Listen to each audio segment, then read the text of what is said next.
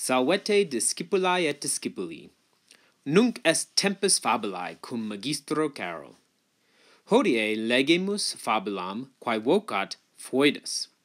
Magister Bracy scribit, magister Carol narrat. Inventarium verbium. Joculari, to joke. Ridet, laughs. Velum aliquid tibi ostendere. I would like to show you something. Voce ridicula loquitur, speaks in a silly voice. Forte cadet, accidentally falls. Legiamus. Foedus joculari amat. Foedus amicum eius brutum videt.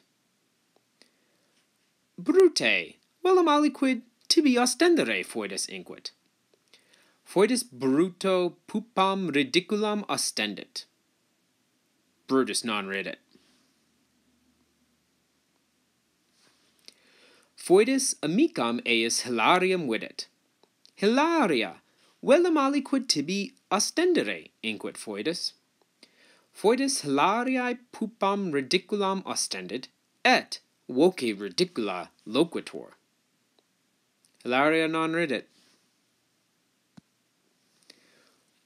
Foedus amicum eius Milonem videt. Milo, velem aliquid tibi ostendere inquit Foedus. Foedus, foedes Miloni pupam ridiculam ostendit, et voce ridicula loquitur. Forte cadit! Milo ridet, Foedus non ridet.